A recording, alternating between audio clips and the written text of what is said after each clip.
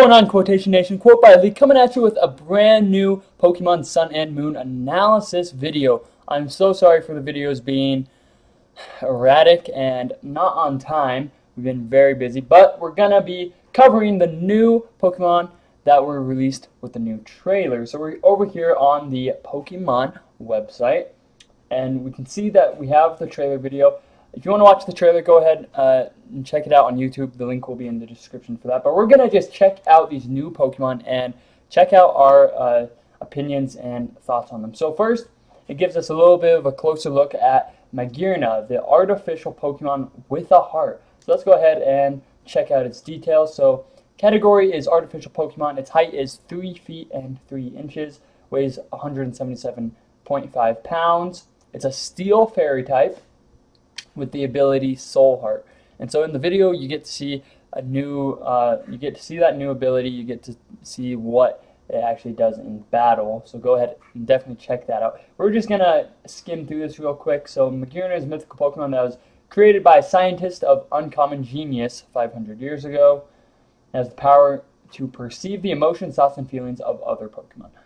If Magearna's real body is uh, real body is the spherical construction in its chest called the Soul Heart, created by a scientist who gathered the life energy from Pokemon. So this evil scientist pretty much gathered the life from other Pokemon and created a Pokemon. He's like an evil scientist. Kind of crazy. Um, we're going to go down and take a look here at his ability. Magearna's ability is the Soul Heart ability, a new ability that no previous Pokemon has had. Soul Heart has the effect of raising Magearna's special attack by one stage each time another Pokemon in the area faints. This new ability, one that can be put to good use in battle. So in the trailer it shows uh, a double battle and a Pangoro uh, takes out an Eevee on your side. So you have an Eevee and a Magearna in the trailer. The Eevee gets taken out and Magearna's special attack is raised. So it's pretty much Moxie for uh, special attack, except she doesn't have to be the one to knock out the Pokemon. It could be any Pokemon that faints will raise her special attack, which is really, really great. She's definitely going to be in Ubers, which will be cool. And then let's see. If the user, if you use the new QR scanner function in Pokemon Sun and Moon to scan in the corresponding QR code, you will be able to obtain the mythical Pokemon Magearna. Magearna will be a special ally that you can put to work on your behalf in the world of Pokemon Sun and Pokemon Moon. And so if you want to get that code, check out uh, check back at pokemon.com slash sun and moon for details on where to find the QR code to get Magearna. So that'll be really cool. Everybody uh, who goes to the website and figures out how to get Magearna will be able to get Magearna, which would be really nice. Now we have, so we have those, and now we have these three new Pokemon that were added into the trailer. So we got a very brief look at them during the video, so we're going to take an in-depth uh, look at Pikipek, which is the woodpecker Pokemon. His design looks awesome. If you remember from the very first announcement trailer, this was the bird Pokemon that had the uh, the exoskeleton graphics that they were creating during the trailer. And it looks like he's a normal flying type. He weighs 2.6 pounds, he is 1 foot tall, and he has the ability Keen Eye, which is something we know, and Skill Link, which is something we know. I think Skill Link is a really cool ability that will put a lot of use to him. Possible for a third um, hidden ability, but we'll have to see on that. So yeah, so we have Pikipek, the woodpecker Pokemon. Pikipek can strike 16 times a second with its beak. One Mississippi. That's 16 right there. It, it hit you 16 times. That's kind of ridiculous. That's like in the Pokemon anime, they said that Diglett can uh, go underground and appear up at the speed of light, which is ridiculous. Why he's not the fastest Pokemon in the game? Because if he's going at the speed of light, I don't know. I don't know. Anyways, these strikes are powerful enough to not only drill through hardwood, but to even shatter stone. So he's a really strong uh, bird, and he does have two evolutions, which will be cool. Now, Uh, Pikipek will attack distant Pokemon by zipping seeds at them. These shots have enough strength to embed the seeds in tree trunks. So uh, zipping seeds at them, that makes me think that he's going to be able to learn the bullet seed ability, and with skill link, it'll always hit five times. That's pretty cool. Fury attack, I think, is something that he will also be able to pick up. Possibly they'll come up with a new uh, move that hits two to five times. That's a flying type attack. Who knows? now, I just want to share a couple thoughts on Pikipek. So, it says that it is the normal flying type, and my thoughts are that they're not going to give him a second typing like they did for Fletchling. They're going to just keep him normal flying, and here's why I think that. So, you're already given the choice to start out with a grass flying Pokemon. So, I don't think that they're going to give you another uh, Pokemon that has a second typing that's really good. So, a normal flying seems pretty uh, good to me. Most of the flyers, most of the starting flyers in any of the Pokemon games are normal flying. And so that's why I think that he'll stay normal flying, just because they don't want to have to compete with a because then someone will be like, oh, okay, uh, I'm going to just go ahead and play Popplio, because I can get this flying fairy type or flying uh, whatever, you know, early in the game. So I think that they're going to just keep it normal flying throughout each of its evolution stage. Um, if they if they decide to give it second typing besides normal, then great. I'm all for it. I think that's awesome. I just don't think that that's what's going to go down because they already have Rowlet. All right, now we have this beautiful, beautiful being named Yungoos. He is the Lord loitering Pokemon. He's a normal type, one foot four inches, 13 pounds, with Strong Jaw, which we already know it does, powers up fighting type moves, Crunch, Ice Fang, etc. And he has a new ability, Stakeout, which we will get to. So, Yungoos is a big eater that is never satisfied. The majority of its long body is given over to its stomach, and its digestion is swift, so it's always hungry. It has strong fangs, so it can crush and consume the hardest of objects. And he looks awesome. He's just got this menacing, evil grin on his face. His hair kind of looks like Donald Trump, honestly. I think a lot of people will nickname this guy Donald Trump or just Trump or something like that because he kind of resembles him. But I really do like the uh, Mongoose design. I think it's really cool. The only other Mongoose Pokemon that we have is Zangoose, and Zangoose is pretty freaking awesome, let's be honest. Um, each goose chooses its own particular route for searching out prey. It stalks along this route searching for food until it's exhausted, at which point it drops and sleeps wherever it may be. It's not that these Pokemon decide their routes based on safety so that there is no risk in falling asleep at any time. So they are a cool little uh, Pokemon that chooses its own route. So I'm, I'm guessing by this description that we'll be able to find them on multiple routes. Now we're going to get into something that's actually really cool. So Yungoos is not a Pokemon that is native to the Alola region. It was brought to the region to help deal with the explosive population of a certain other Pokemon. And now Yungoos are commonly seen around the Alola region. So, I did a little bit of researching because I wanted to know what that meant. So, if you don't know, uh, mongoose, they eat a lot of different things. They eat insects. They're, they're a predator. So they, they eat insects, small rodents, birds. But their main source of food is actually snakes. They eat different snakes. And so that makes me think that they brought uh, goose into the Alola region to take care of a species of snake. So I think we're going to be getting a new snake Pokemon. And I think that's awesome. So I looked up uh, two different common uh, snakes in Hawaii because the Alola region is based off of Hawaii. So there was uh, one that was, I can't remember exactly the name. It was just like this little brown snake. Uh, it was just like a normal kind of looking snake, right? But then they have a yellow-bellied sea snake, which is a very common snake, and it looks really cool, really menacing. So I think that they're going to have some kind of sea snake, uh, maybe a water poison type snake that will be all over the, the, Alola region. And I think that makes awesome sense, and it connects it uh, to be able to bring in a Pokemon that eats snakes to take care of their population. Uh, I think that's just really cool. I think that they're definitely going to have a new snake Pokemon, or they're just going to have a whole bunch of Arbok and Ekans, which is cool, but not as cool as introducing a new snake. So I'm, I'm almost 100% positive that they're going to have a new snake. Some Yungoos have an ability no other Pokemon discovered has previously had. This ability is known as Stakeout. So this new ability is super cool. So pay attention to what it says right here. With the Stakeout ability, this Pokemon's moves can deal twice the normal damage to any Pokemon that switch in or enter the field of mid-battle. So, let's say you're playing a 6v6 online battle.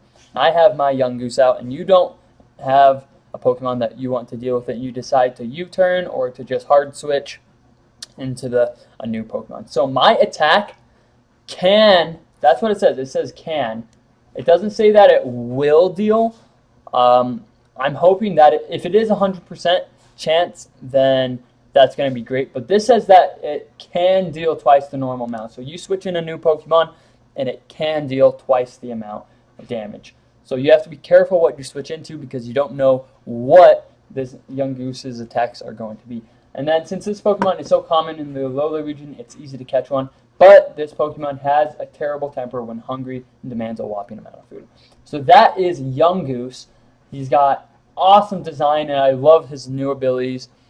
And I think that he's going to be a very, very powerful Pokemon. Uh, he'll probably only have one evolution, like most uh, early game normal type Pokemon, uh, like Rattata, Sentret, um, Zigzagoon, stuff like that. So I doubt that he'll have multiple evolutions. I think he'll just have one evolution, which is fine by me. I think that they could really utilize him. He looks like he's going to be a fast, physical kind of sweeper type of Pokemon.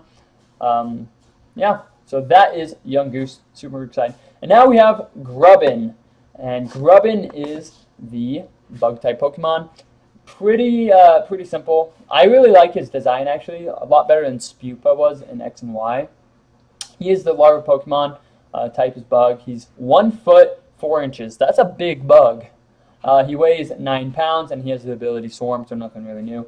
Uh, the only cool thing is Grubbin relies on its sturdy jaw as a weapon in battle and as a tool for burrowing through the earth. Grubbin loves electricity, which is why it can be found near power plants and substations. So uh, I think that's pretty evident that it's going to have an electricity uh, typing added to it with its evolutions, similar to Joltik and Galvantula, which is cool. We don't have very many electric bug types of Pokemon. I think that's actually the only one is good Joltik and Galvantula.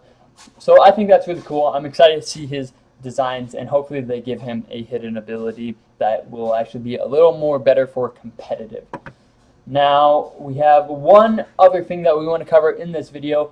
From the trailer, we got to take a look at the new battle type, which is going to be Battle Royale. So let's take a look at the details.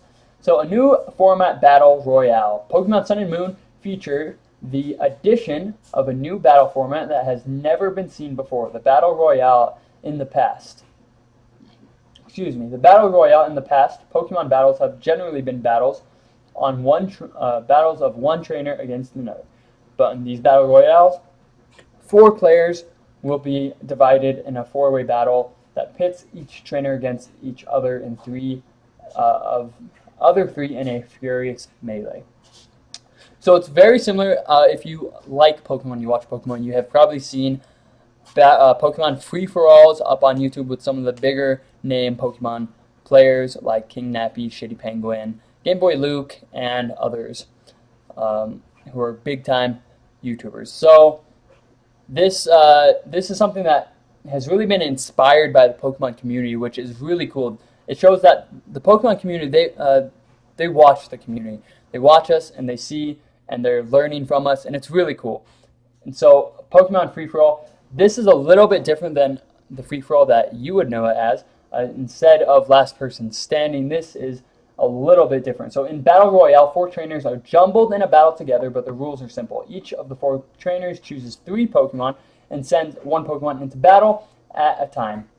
The battle is over at the end of any turn when all of the Pokemon of one trainer has fainted. So whether it's 1v1v1, everybody's lost two Pokemon, or three people still have three Pokemon, one person loses all the Pokemon. It just depends.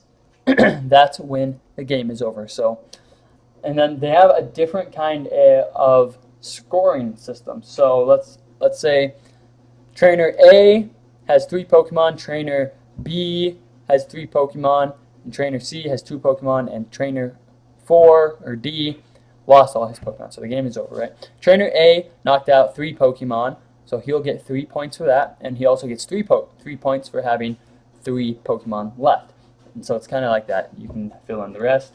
It's a different scoring system, so that's how people will be able to win and whatnot. So while these are simple rules, they also allow players a new way to enjoy Pokemon battles, one where many new strategies may be born, as each player must try to predict who will attack whom or way acting to save this player who is in a pinch in order to aim for the number one position.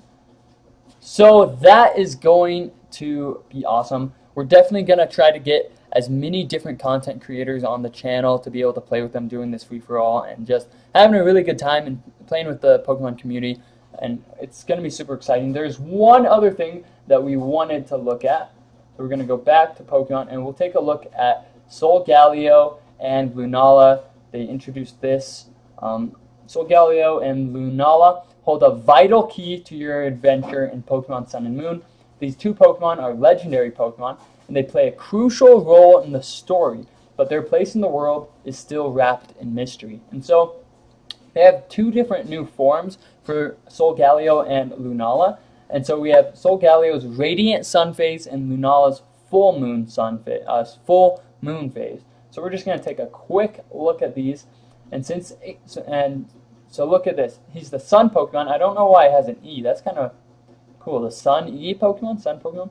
He's 11 feet and 2 inches in height, weighs 507 pounds. He's Psychic Steel type, which we've already covered in our other video, and he has the full metal body. Since ancient times, Solgaleo has been honored as an emissary of the sun. It is referred to with reverence as the beast that devours the sun. Solgaleo's body holds a vast amount of energy and it shines with light when it is when it's active. It has a flowing mane with remarkable resemblance to the sun. Its, its signature move is Sun Steel Strike, an attack that charges at an opponent with the force of a meteor, disregarding the target's ability. Okay, so that's something new that we were able to learn right there. and the trailer, doesn't show that. So this will disregard any ability, which is really, really cool. And Solgaleo's body uh, ability is Full Metal Body, a new ability that no previous Pokemon has had. With Full Metal Body, a Pokemon's stats will not be lowered by the effects of an, of an opponent's moves or ability. So that's exactly what we talked about during the last trailer. No secondaries from any Pokemon's moves or any abilities will affect stat changes on Solgaleo. And now we'll just take a quick look at Lunala before we let you guys go. This video is actually getting a little longer than I wanted it to. Since ancient times, Lunala has been honored as an emissary of the moon, referred to reverence as the beast that calls the moon. Blah, blah, blah. You guys can read this all on your own. I'm just going to link it in the description, honestly. Lunala's ability, Shadow Shield, a new ability that no one has. With the Shadow Shield ability, a Pokemon will take less damage from an attack that lands when the Pokemon has full HP. So it's very similar to multi-scale in that regard. So, thank you guys so much for watching this video. It's been super cool covering all this Pokemon stuff. If you like this video, go ahead, leave a like. If you're new to the channel, go ahead, check out my other videos, and please subscribe. It really does help and support me to want to make more videos for you guys. Uh, I love you guys. Thank you so much for watching. Go ahead and check out my links in the description, my Twitch and my Twitter down below. Uh, and you can follow me on Twitter so that you can see when new videos go live and other stuff that's happening in my life. Again, thank you guys so much for watching this video. Again, as always, guys, if you're not hydrating, you're dehydrating. Quote by Lee.